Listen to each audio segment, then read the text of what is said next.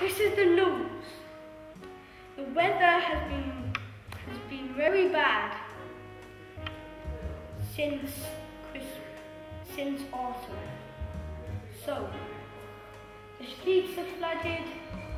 Every house is really wet. The grounds are really wet.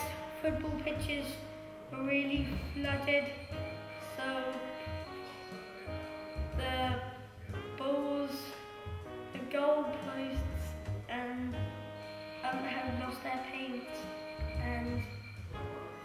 people are really unhappy.